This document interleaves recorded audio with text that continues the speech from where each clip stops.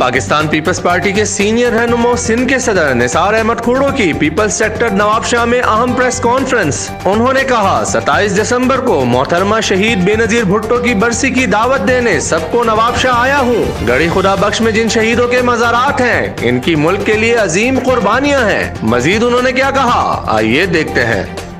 एक तरफा डेमोक्रेसी चलती ही नहीं है। खोखला हो गई हुकूमत। जमहूरियत में अपोजिशन का किरदार किसी सूरत में काट नहीं सकते। दो हों तब भी, एक सौ इकसठ हों तब भी।